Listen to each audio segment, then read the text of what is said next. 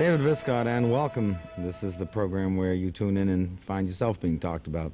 Sometimes you find the issue that's the, been bothering you all week, sometimes all life, being talked about right in front of you, and it strikes you.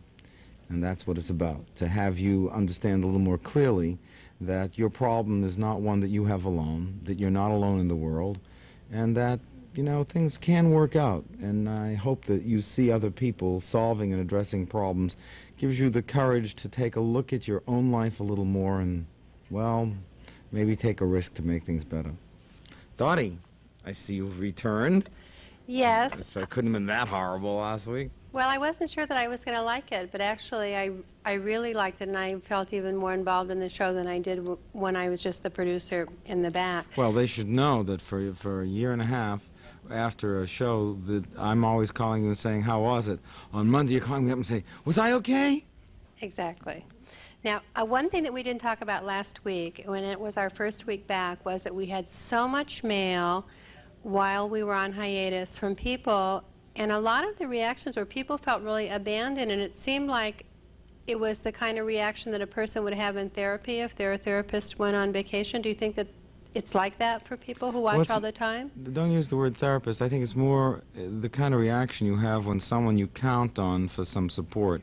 Um, when I talk to people about how they see what we do here, they get the feeling that this is a voice of sanity. It's a moment where someone's going to hear the truth, and when a week that you're going through is, feels crazy, or you're overworked, and, and things don't seem to make much sense, or the kids are are uh, eating the wallpaper, and the, no matter what you tell them, they're- not they're not getting any better. Just seeing that it's possible to work through a problem can be something that holds you together, and um, uh, believing believing that someone can be helped is often the only help you need to believe that you can work it out. We got probably about 25 letters this week from people saying how happy they were that you're back. So I think that is really great. I should send myself a letter because I'm happy I'm back too. Who- Yeah, it's great. What do you have, Dottie? We have on line two, we have Vicki who's um, getting some unusual vibes from her girlfriend. Vic- Vicky? What did I do? Did I just cut her off? Vicky? I think maybe you cut her off. So earlier you were talking about this rapture, which I don't understand anything about. Jim is on line 14. Why don't you talk to him and we'll try to get Vicki back while you're Okay. talking. Jim? Jim, are you there?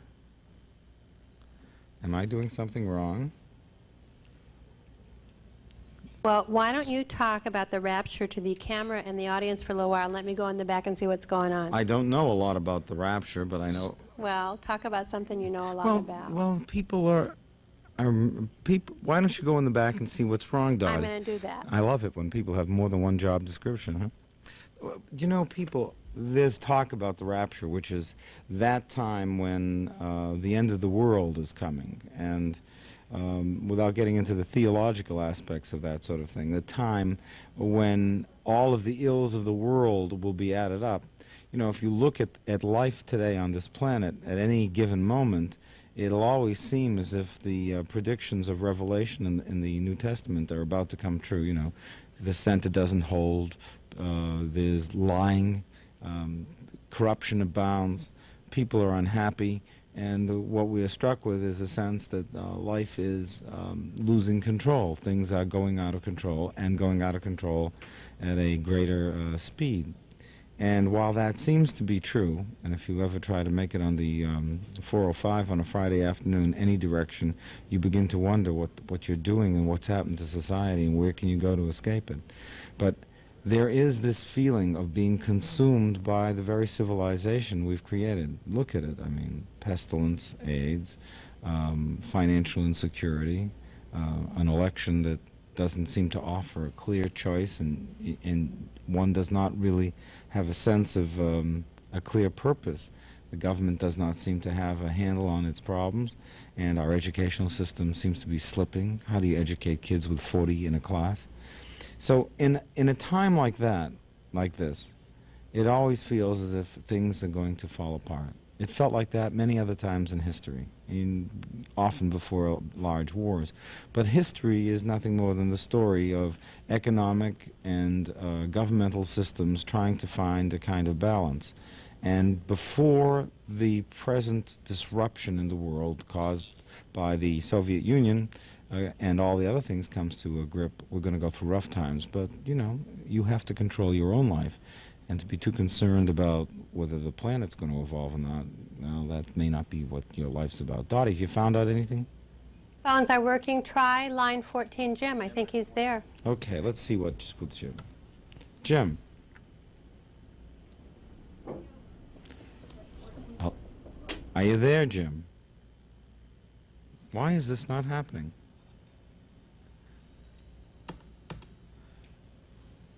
What do you say, Dottie? Do we have a problem that you can solve? Uh, it, you know, our phones are working back here, and they're not working out there. So if worse comes to worse, you know what? Go to commercial, and then if we'll bring you in here if we have to, and you can talk on the phone in the booth.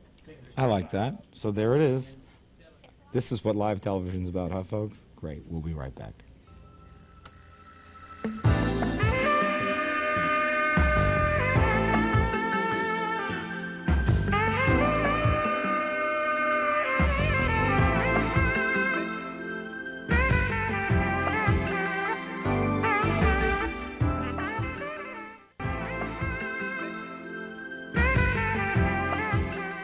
What do you do when everything goes wrong in your life and there's no way, no expectation of what you can do to solve it?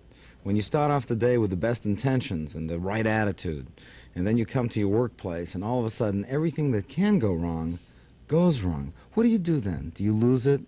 Do you let the stress overwhelm you? Do you let your blood pressure climb? Do you blame your equipment? Do you start screaming and yelling at people? Well, you're watching me right now as nothing here is working. My telephone bank, well, it's a joke. We press a button and nothing comes through. What am I going to do? Am I going to go crazy? Am I going to be nuts? No. I'm going to tell you what I'm feeling and how I go through it and how I deal with it because maybe in this real life situation, it's an opportunity for you to see how I deal with it. You can turn around and yell at me if you want to. I wasn't even thinking. As you know, I completely forgot you were there. No, but you know, what you have to do in a situation like this is every crisis is an opportunity. Right. Well, one opportunity that we might have here is it seems that the phones in my booth are working, and um, if it works for the director, we could move you into my booth and I could just work out of the back. Benny, can you talk over this? Can we hear your voice on the air? Sure can. Hi, Benny. Hi, Benny. So, so what would it be like if David moved in here and he took the calls in this booth? I think that's very possible.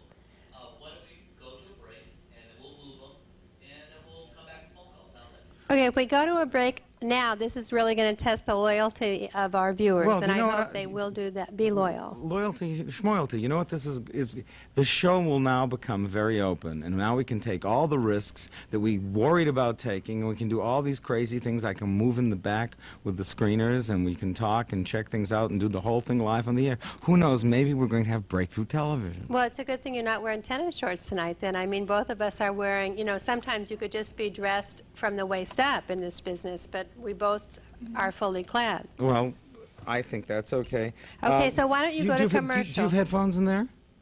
I, have, I don't have headphones in here. So I'll need a set of headphones in there. Well, okay. All right, let's go, let, you go to say something nice and go to commercial, and we'll try to fix it in two minutes. Okay. The point is, the world is always a little bit crazy. And the fact that you think you have it organized, the fact that you think you have a plan, is just kidding yourself. You know, if you want to hear God laugh, tell him your plan. If you want to make something work, you have to be flexible and realize that uh, nothing means that much in a hundred years, and that your real strength is in dealing with your weaknesses and being flexible in the face of uncertainty. It's like driving a car.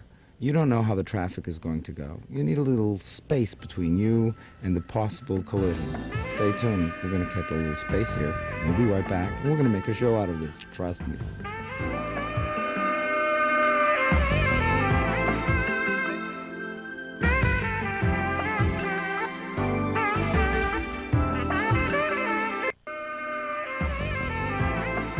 Welcome back to the search for modern communication.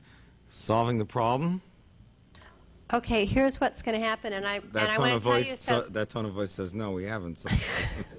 God, what Well, do we you do? solved it somewhat. Okay. When people call in, we're asking them for their phone numbers, because our, our regular phones work in the back, they just aren't working for you. So if people give us their phone numbers, and we call them back on another phone, this is a little technical, and then it's broadcast into the studio, so you don't have to use... So I'll hear it here, but I have to You'll- hear, I have to hear this so I can hear Benny.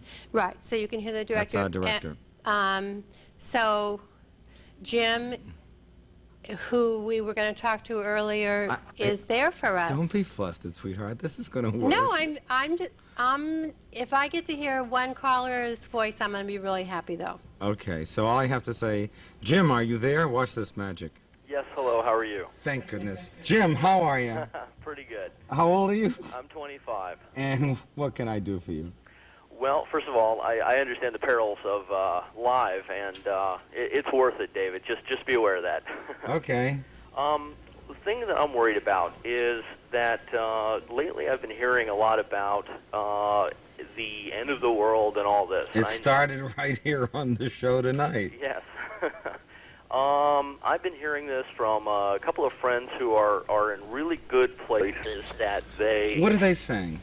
Well, they're giving their analogies for one to start with. Now, this was a few months ago that I began hearing about this, and I, I gave it some thought and consideration. It's not something I think on a daily basis. What was the first feeling you had when you when you heard it? That was absolutely interesting.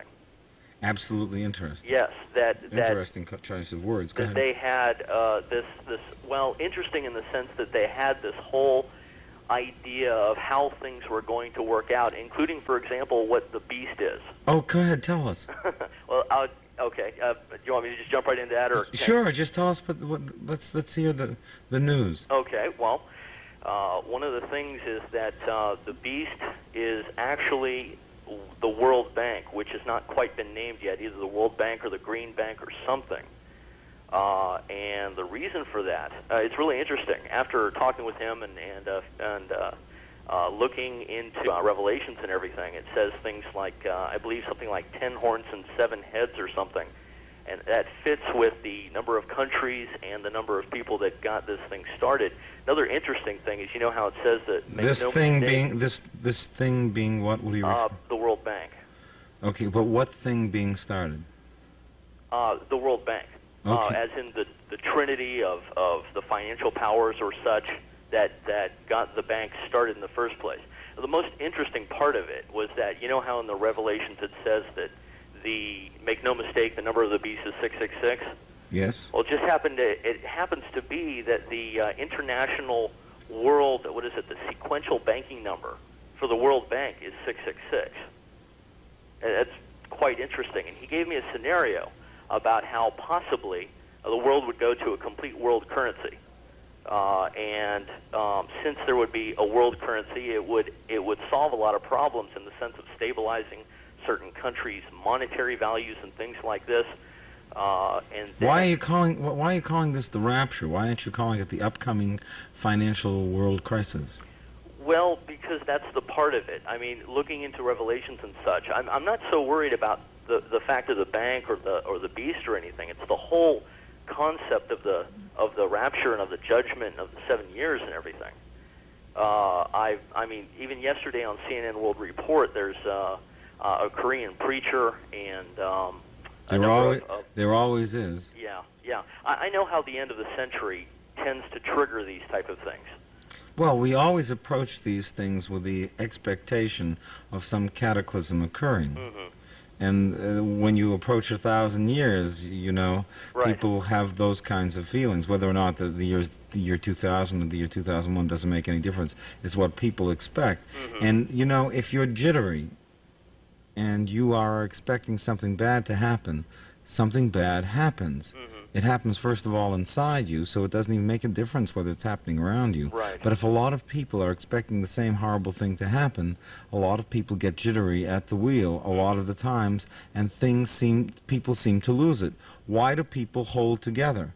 People hold together because they believe that there's a cohesiveness and that mm-hmm. there's a unity in society and the ground of life. The ground of life. The force behind life. And there are no world leaders, really, are there?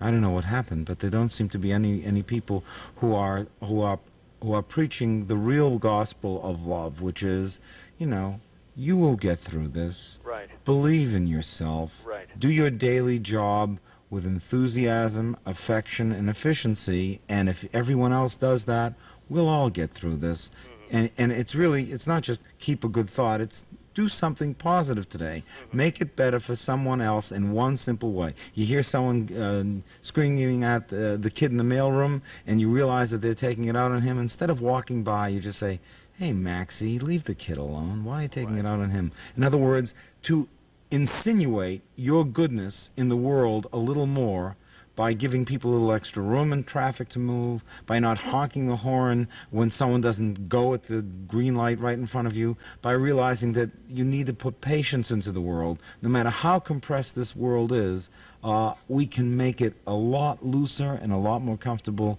by just giving in a little bit and understanding that other people in the other car could be our family.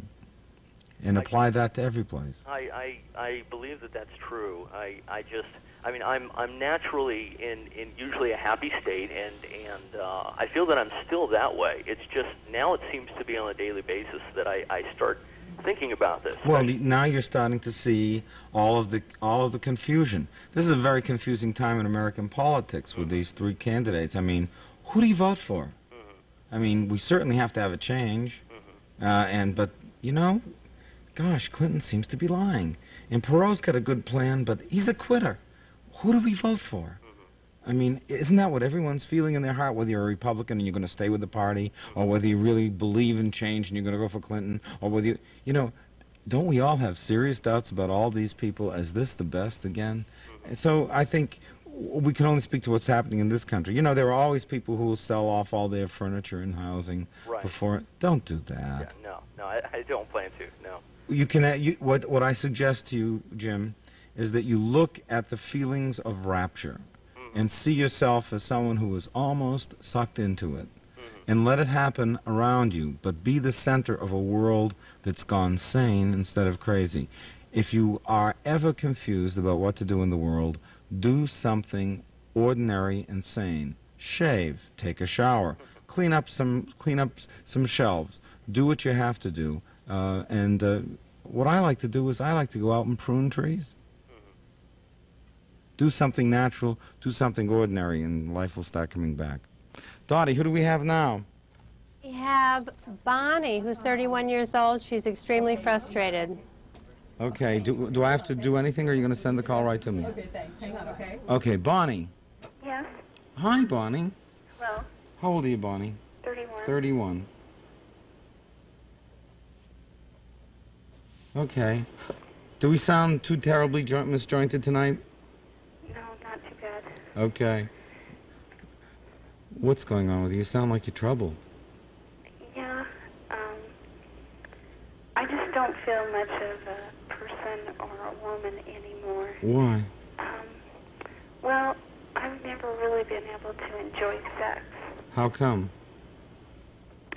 I don't know. I mean, I I've heard what it's supposed to be like, and it's never been that way for me. Are you single or married? Single. Have you ever had a long-term relationship with anyone? Yes. And what did, was that like? Well, it was okay, but it seems like I'd get No, I'm talking about the relationship, not the sex. How was the relationship? Mm, well, it was strained most of the time. So how could you expect sex to be good in a strained relationship? When you say a relationship is strained, what, what do you mean exactly? Well, we didn't see eye to eye on, you know, things that I thought was important. Such as what?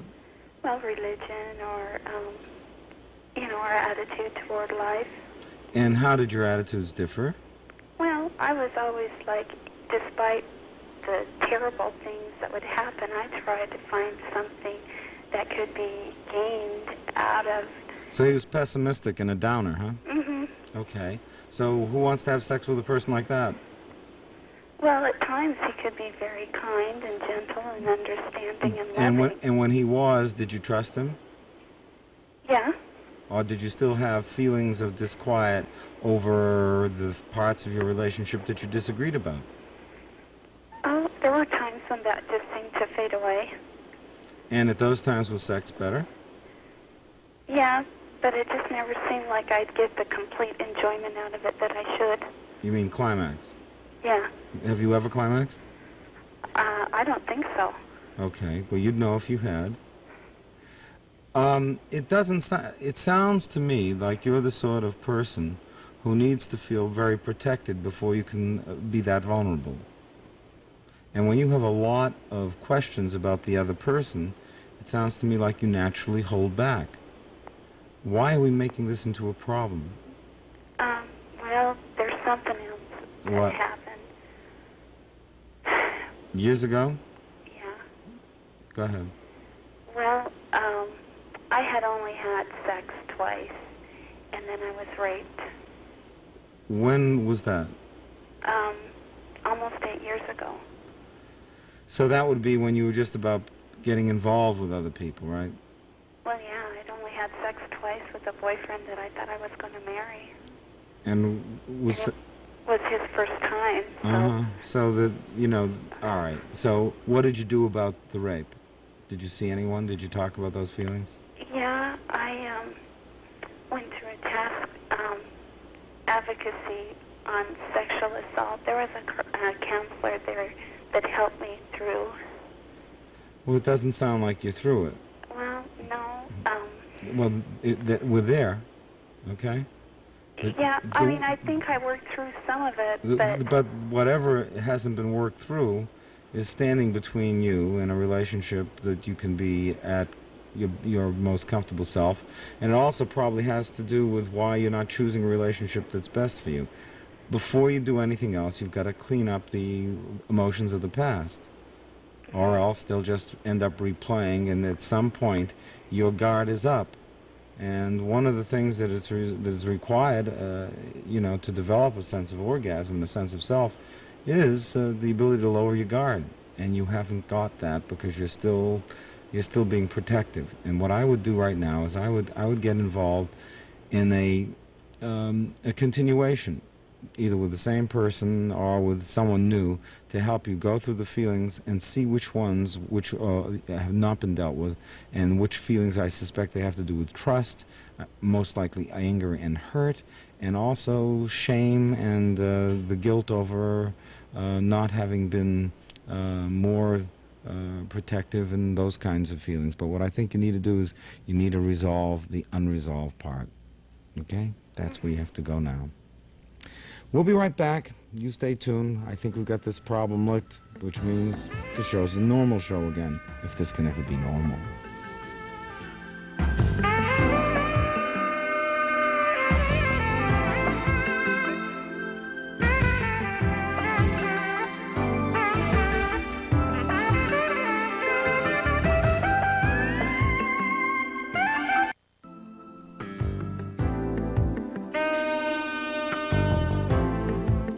Welcome back. Dottie, how are we doing? Do we have, are we in real, or are we still doing this jerried up thing? We're still doing this jerried up thing, but we have the, the most amazing technical people here who can jerry this up at a moment's notice. I think it's just incredible. It's true. If they only made house calls. Um, we haven't, I don't have to tell you any line numbers because we have no lines, but we do have Michelle uh, floating out here in the studio someplace who is, um, wants to talk to you about some problems she's having with her children. Michelle, Yes, magic to hear you sound like this. How old are you, Michelle? 26. Why are you calling? Well, I have been having a lot of problems um, lately dealing with my children. I have four kids, and I'm finding myself resenting them to the point of hate. Hate. Hate. um, I, I, all my children, I chose to have them. I wanted them very desperately. I love kids, and ever since I was little, I was not, you know, very career oriented. I wanted to be a wife and a mom, and you know, that was always my thing. But, I, But, but you didn't always feel hatred of them, did you? no, no, no. It's just been actually within the past couple of years. Um, I, you know, I, I have my you know, my children are pretty close together. I have an eight-year-old, a four-year-old, and two two-year-olds, and uh, Twins? yeah, and I think that especially the twins have been so overwhelming. Um, I, I, I have absolutely no life of my own. Um, I, my whole life is centered around kids and doing for them, and it's not just one of those things at 7 o'clock in the morning till, you know, they go to bed. It seems like it's a 24-hour thing because there's always one of the four kids that get up in the middle of the night, and somebody always wants something. Um, somebody's always destroying something or breaking something. Well, or I I understand that. The the concern is, how did this go to the word hate? Um, you know, I, I, I don't know how. I, I just have this rage inside me. I When did that When did that start? Um, I would say probably when the twins were got around three months old. Three months old, when they started moving around. Yeah, but I also was kind of dumb, and I started school that that time, and I was taking 19 units and a very heavy, heavy course Wait, load. wait, wait. And- Nine, 19 units with three months old twins? Yeah, and one of them was in intensive care at the time. He had been put back into an intensive care for Okay. the problems he was having. What are you doing? What, what, what was that all about? Well, when I was pregnant with the twins, they were a planned pregnancy. Um, when we found out that I was pregnant with twins, my husband flipped out. He he just literally flipped out because What, did, what do you mean flipped out? um, he all of a sudden decided that he didn't want to have to do anything for me. He didn't think that I should have to stay off my feet. Okay, so I you, started you with problems from the time I was eight weeks pregnant, and did you it have was a, total inconvenience. To him. did you have eclampsia? They're not quite sure what I had. I'd had a twins um, six years before that were that were tw- 21 weeks. They Okay. were born at 21 weeks. And so- why did your husband pull away? Have you ever talked to him about that? Yeah, he told me. Um, you know, I, I asked him one time, and he said he was being honest, and it was just something. This really hurts me a lot to hear him say it. But he said he hated me for having twins because he felt like me having the kids was taken away from his youth and his um, freedoms, and you know, financially they were a tremendous burden. Their medical bills soared over $150,000. Well, we, we, we thank him for being candid, but has he changed at all on that? Um, he goes back and forth. It's really weird. Sometimes he's he's very. Um, So you're not angry at the you're not angry at the kids at all. Uh, well, in no, Right. You're angry at, him. of course. And Okay. But see, it goes even deeper than that with him. He's he's a very violent person at times. Very violent. He's pulled, you know, he's pulled a gun on me before. He's pulled a gun on you. Yeah. Uh, he he's in law enforcement. He's a what? He's in law enforcement, and he, you know, that how law enforcement people are. That's kind of like an extension of their body, and they don't see it as being something that, you know, they may get angry and they don't see it as anything that's going to hurt you. But it's like, you know, same thing as if I were to pick up a book or something like that. You know, it's All right. So, so your husband is is in is he in the LAPD? no, But he's in law enforcement. yeah, Okay. So the first thing is he's out of control. Yeah. He can't. He can get out of control. We got into a fight a week ago, and he, it was a stupid thing. It was over the oldest son over a pair of glasses of all things. Because Well, it's never going to be over anything. You know, it's always going to be over something stupid. Yeah, and I got Because I here's a bit per- back at him, and he attacked me and practically broke my neck. Okay. And Well- you know, it's just Your husband's ready to explode. This is what this is what the problem is. yeah, And his view of you was of a person who was going to defuse the bomb. That's what he expected you were going to do. Then you had twins, and all of a sudden, he has no place to go with it. He certainly doesn't sound like the type who would ever volunteer to go into um, uh, a program for stress reduction on the force, right? uh, oh no, Never. In fact, we went we went to marriage counseling, and it had to be written that I was the only one going to counseling because God forbid he ever was investigated years down the line. That's right. out he'd gone to a You know, I've spoken to a lot of people in law enforcement who have shared exactly this problem, which is they are constantly being barraged with horrors on the street. Mm-hmm. They see the worst of the worst, and a part of them starts to die. They become angry. They are ready to blow up. They're waiting for a situation where they can vent their anger onto the world. And if they don't get help, they either develop ulcers or that sort of thing, psychosomatic illness, or heart attacks, overeating, or what. Or, he's, he's one thing that he started doing is he's I, I think he's bulimic. I mean, he's that's where he's putting his All on his stress. Let's- let's talk about-. Okay, let's talk about reality. Your world is in shambles. That's the first truth. The second truth is your husband is sick with stress, and it's either going to kill him or kill you. Well, you know, I've, I've tried to tell him several times, you know, if this is the way you feel, if, if I have disrupted your life so much and the children have disrupted your life so much, I have no problem if we separate. Let's have a temporary separation. I don't think you need to ask him about that. I think you d- you say, look, you are so filled with stress and so angry and about to explode that you're not safe to be around. You're going to blow up with the kid over his glasses. You're blowing up with me and nearly breaking my neck over stupid things. I'm not safe with you. I'm asking you to move out and get help and not come back till you do because I have to protect these children because you are a present and real danger to yourself and this family. And unless you recognize that and get off your ego and stop trying to protect yourself from the uh, image that you are perfect and, and you're so afraid of admitting any kind of imperfection. Unless you're willing to put that aside, there's no hope for that, and I'm blowing the whistle now. But you have to take control. Well, It's the a, problem is, though, you know, it's not. It hasn't just been him anymore. It's now filtered down to me. I understand. And I'm a danger to my kids But now. but I mean, but I, once you get the source of your anger away from you, you will be in control, and you won't be a source of, of a danger to your kids. You're calling me, trying to get attention for the problem by saying you're a source of danger. You're going to kill your kids.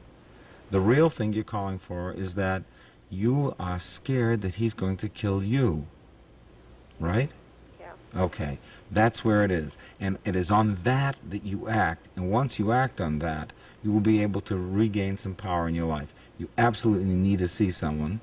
And is there a um, any any resources in his uh, police department for um, uh, for wives of, of, uh, law enforcement officers? Um, I think I heard someone talking about it. I don't know in what capacity they. Well, then you have get him out of the house and tell him you have to get help because you're falling apart and you cannot stand here and let your family crumble. And if he wants you to, if he won't do anything, then he's telling you he would rather go down with his ego than be a loving father and husband. And you have to know that that's the decision he's going to make. Save yourself. It's the only possible route left to you. I hope you heard that. Dottie. Hi, I'm in the back, David. Um, you know, that call was so interesting because that woman called in about her anger for her children, and and you recognized that that was not her problem at all and changed it to what it really was. And I thought that was so interesting because she seemed so clear about why she was calling. Yeah, and the other thing, taking on all that punishing behavior, the the extra courses and stuff, just to um, develop a sense of uh, her, her life having meaning and independence. The problem is when you have one of these abusive, uh, egocentric, macho men as a husband, you become intimidated with them, and as soon as you stop standing up to them, you begin to lose your whole life, and you have to make a stand at some place. I hope I inspired that. But she has to do it in a way to protect her children. She'll do things for the kids that she won't do for herself.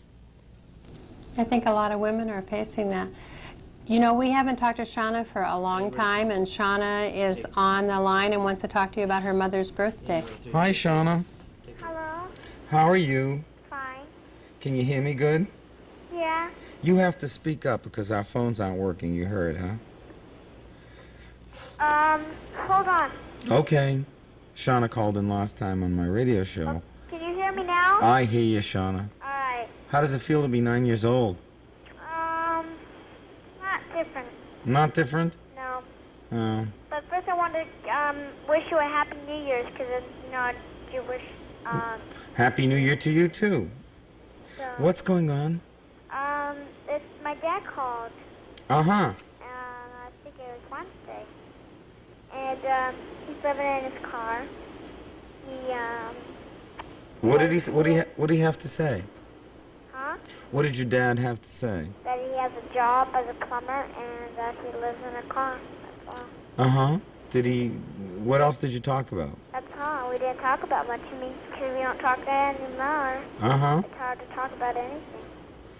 How did he sound? Did he sound happy? Did he sound better than he had been, or was it Sounded grumpy. grumpy? Yeah. H- how could you tell? Well, not grumpy, grumpy, but he didn't sound like happy. He didn't sound sad. He just, he just sounded grumpy, kind of. Uh huh. Is he still doing drugs? Um, I don't know. That Did- I don't know. Did he sound clear? Huh? Yeah, he did. Okay. What else is going on? Um, it's gonna be my mom's birthday on Monday, and she's coming tomorrow. She's coming over the house. Yeah, to see me. And I got her some presents. And um, she's living in an apartment with some guy named Mike. Uh huh. Um, he's real nice. I, I don't know what he is, a carpenter or something. Well, that sounds that that sounds a little more stable than things have been, huh? Yeah, but um, she she sounds like she. You know how like when you're a regular housewife and you have settle everything, she's like, I have to go clean the house, stuff like that. So sounds like she's getting it together. Actually, it's not an apartment; it's a house. She, so she's actually paying attention to things in the house. Yeah. How does that feel for you to hear her say that? Um, I like it, but I just wish she could get me and my brother back again. Okay, now Shauna, I'm always telling you this, okay, and I don't want to put be a, um, a wet blanket. You know, I don't want to be someone to discourage you, but what you're doing is your mother's making some steps in the right direction, and she's been addicted for a long time, right? Yeah. So it means that you have to be patient and don't get your hopes up too high. She'll move forward, she'll fall back, she'll move forward, she'll fall back. She's moving forward right now, and you're glad for her.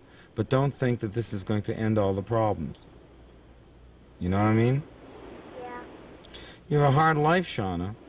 Do you know wherever I go, people ask me about you? No. That's true. Today, as a matter of fact, today, three women asked about you. How is Shauna? What is. That's the truth. What does that make you feel like to hear me say that? People care about you, Shauna. And that means that when you get out into the world on your own, you're going to find that people are going to be able to relate to you probably a lot better than your own mom did. So if you're going to have expectations and hopes, the expectation and hope you should have is that you're going to be able to make your own life better and watch your mom you know at her birthday and and realize that she's getting older and you're getting older and maybe the day will come when you'll have a better relationship. But the most important thing that you have to work on is to have a life that you like for yourself.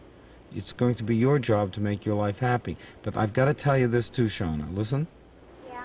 no matter what, even if your mother and father were together, never got divorced, and your mother was never arrested for prostitution and never did drugs and was a terrific person and always there for you and never had a problem, and you never had to go live with your grandparents, even if all those good things happened, you'd still have to make a life for yourself. But It- my mom and my dad were never married. I know, but even if they were, you'd still have to make a life for yourself. So don't think of it as a punishment. It's a privilege to create your own life, and that's really what you have to look forward to. I have another thing to say. What's um, that? Remember I told you about my sister Sarah? Yeah. Um, I've heard from her dad and um, her Sullivan. She, she talked, I don't know if it was two weeks ago or something like that. And I talked to her on the phone. How old is she now? She's only three, but she didn't have much to say, but it was nice to hear her. Yeah, well, I think Detroit, I, so, uh, I think your fear about her is that she's a little bit slow. Well, no, no, it's just I'm glad to hear her voice again. Uh-huh. And she, yeah, she is slow, but I'm glad to hear from her. And that's good. I'm glad you're having more contact in your life. Yeah, uh, I think that was, um, I don't know if I told you when I talked to you on the radio.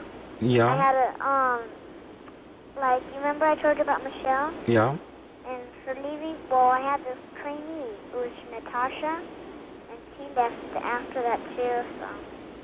That So- was right after when I talked to my daddy John, that, my dad. Okay, so do you have a regular social worker now? Yeah, Do you like her? No, it's a he. Do you like him?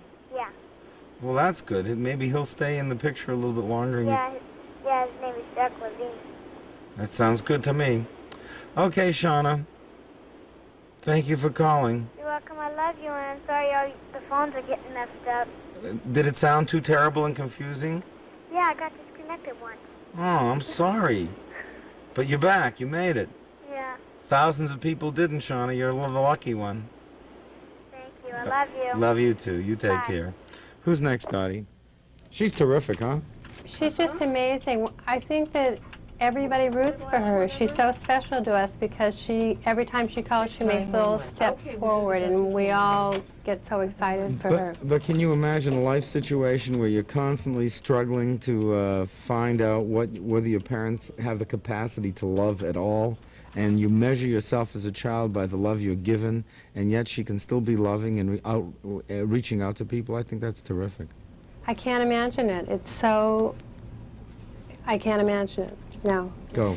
Um, we have Tom on the line who found some pictures of himself that were taken when he was a child that really um, shocked him. Okay, Tom. Hello, Dave. Hi, Tom. How old are you, Tom? I am 29. You found some pictures? Well, what what had happened about two years ago, I it came back to me. The memory, I guess, was, had been repressed since I was six years old, and I remembered that I was sodomized by my father. My brothers and I were sodomized by my father.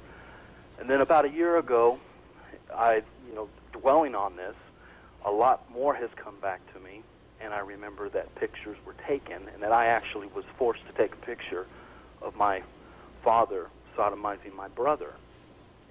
And then about three months ago, I realized that I had seen these pictures and that they were displayed on television.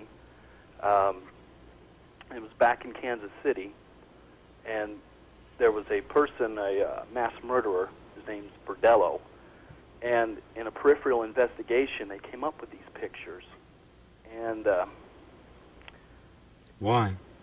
uh, well, this this individual, uh, he would take men and boys, he would uh, kidnap them, torture and sodomize them, and photograph them. This is your father? No, this is another individual whom I now realize my father is linked to him, and you know it's it's through occult activity.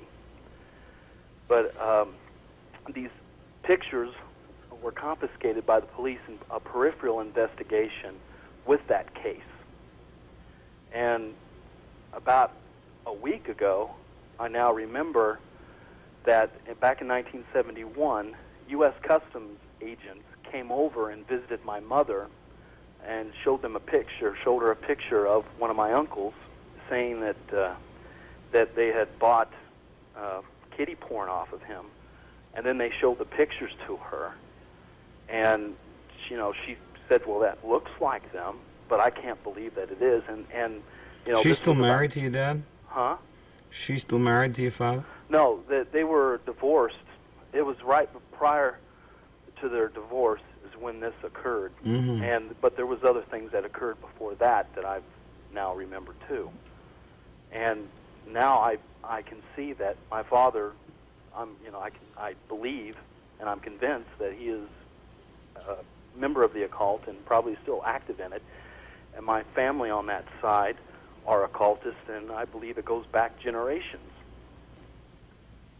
Where are you emotionally with all of this? Uh, what's that? Where are you emotionally with all of this?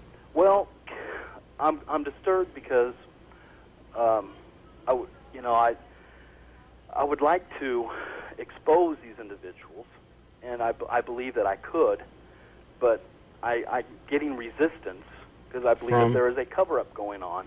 Who's resisting this?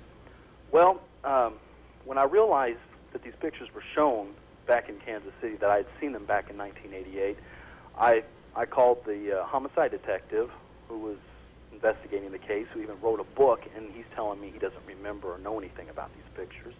I talked to the TV station where I saw them, and they're telling me, you know, they're giving me a runaround, and I believe that there is an, a, a cover-up going on there because uh, it could point out people who are involved in the occult, and they they kept suppressing that this individual, Berdella, was was not active in the occult at all, and I I now I know that he was. What is your relationship to your father right now? Well, after he divorced my mother, um, I he pretty much was out of the picture, and occasionally occasionally he would call when I was over at my grandmother's, and. Um, When was the last time you saw him? Well, back I, I went back and visited him in 1987, Recent. and uh, what was that like? Was Well- the memory hadn't returned yet? no, it, had, I, it it wasn't there. It hadn't been triggered yet, and well, you know, I felt out of place when I was there, and I even I, I was there on my birthday, and I even remember I started crying. I don't know why I was crying, but you know, Maybe um, you were scared. yeah, I don't know, and. Uh, Where were you when you started crying? what I was there uh, on his balcony, just you know, it was like he was trying to explain to me about you know what had happened and everything. And, uh, what had happened when? Uh, with with the, why my father divorced my mother and, and So here he was trying to explain what had happened, what and a great sadness came over you because something else had happened that he wasn't talking about, yeah, and that you you had an awareness of, but didn't know what you were aware of itself. Scary position, horrible position, actually. yeah. But but now, I'm, uh, you know, I feel kind of good in a way because you know before, you know, I've I've realized that I've had problems with you know with with myself, um, you know, with just my behavior. You know, I'm kind of compulsive and depressed, and was isolated as a child, and and have some self-control problems. And I I never could understand it, but now it's all in full view, and I understand what has messed me up. All right. Now the point is, in order to gain more mastery over the parts of your life, you have to resolve the loose ends of that feeling. Let's identify the feeling. The feeling was one of um, abuse and outrage, right? Oh yeah, Okay, so that caused an, uh, uh, you were violated with great hurt. Yeah.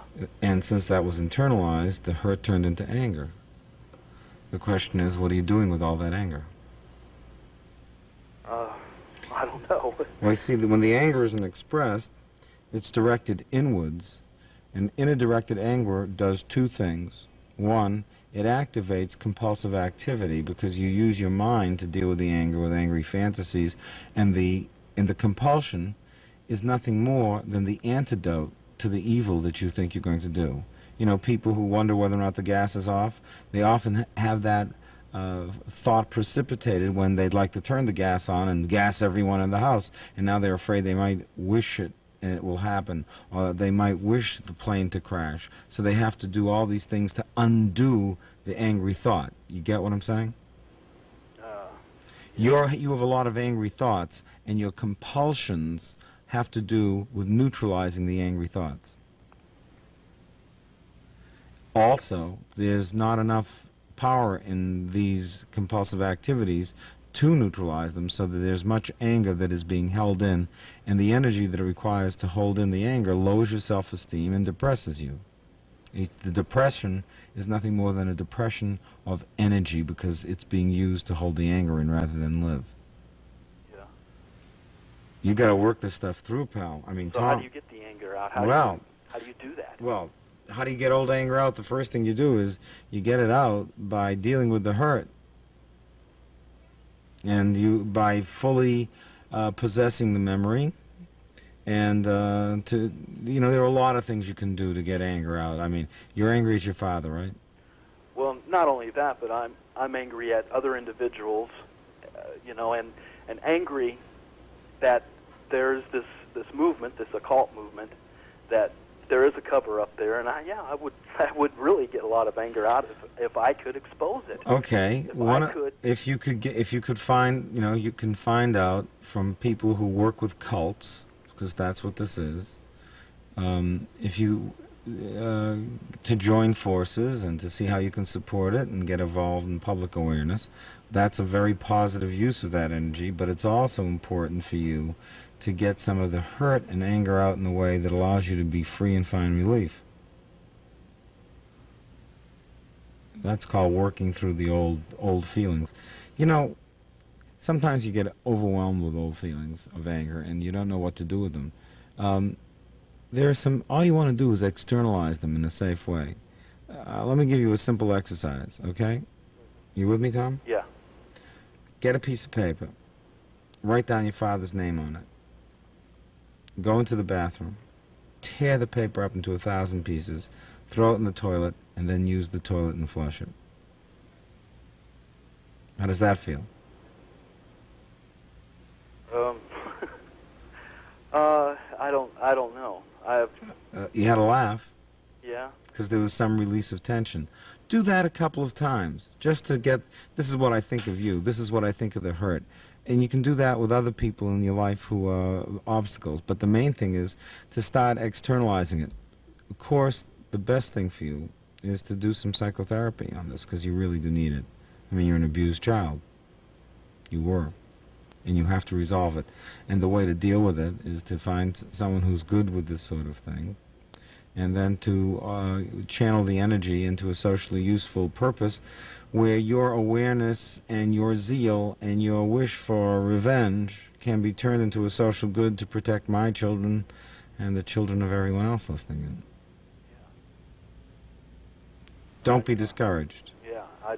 Well, it is kind of discouraging, you know. It, and and there is a fear that I have that if I begin to reach for this, and uh, there will be people who will not like that and uh, will probably attempt to do me in.